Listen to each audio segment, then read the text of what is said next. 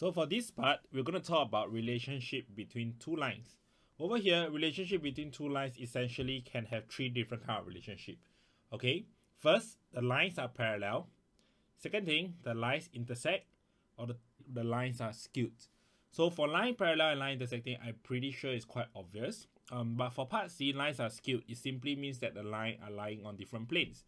So for example, over here, this can be a plane. Now, the line 1 can lie on here, and line 2 essentially can be something like that. Okay, so even though they are not parallel, they will never intersect at all because they are on a different plane. This will be learning further when we go on to vector 3. Okay, so for uh, three different kind of relationships, okay, how do I determine what kinds of relationship two lines share? So for example, I'm going to give you two lines equation. I'm going to determine the relationship between these two lines. So let's say L1 is R equal to 102 plus lambda 1, 4, and 7. Next, we're going to talk about line 2, which is R equal to 4, 3, minus 1, plus mu, 1, 0, and minus 3. Okay, by comparing the line directions, the both the direction I can immediately see that the lines are not parallel. So I can immediately say that line 1 and line 2 are not parallel. Take note, this step is the most important step. Please always check the relationship between your two lines if they are parallel. Please do not skip this step. So if the lines are not parallel, what I'm going to do is we're going to try to go back to determine if they are intersecting or they are skewed. So how do I determine if they are intersecting or skewed? So what I'm going to do is I'm going to assume that both of them intersect. So I'm going to if 1 plus lambda, which is a first line equation, 4 lambda and 2 plus 7 lambda is equal to 4 plus mu, 3 and minus 1 minus 3 mu.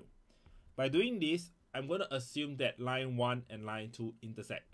Okay, and I can actually create out three different equations by comparing the x component, the y component, and also your z component. Take note, I will have three equations and two unknowns, which is namely your mu and lambda. So what I can do is I'm going to use two of the equation out of these three to solve for my lambda or mu. I can actually use my 1 and 3, I can use 1 and 2, I can use 2 and 3 as well. Doesn't really matter. Okay, so over here, since 2 is quite straightforward, I'm going to use 2. I'm going to pair it together with 1. I can use 3 as well, it doesn't matter. So over here, I'm going to say solving 1 and 2. I will get lambda to be equal to 3 quarter. And with lambda equal to 3 quarter, I'm going to sub into my equation 1. I'll get 1 plus 3 quarter equal to 4 plus mu. Essentially, my mu over here will becomes minus 9 over 4. So with this lambda and mu, now assuming if the line intersect, this lambda value and this mu value will fit into my third z component very nicely. However, if these two values doesn't fit into my third equation, essentially it just simply means that the lines are skewed. Okay, so what I'm going to do is from here, I'm going to sub in my lambda and mu into my equation 3.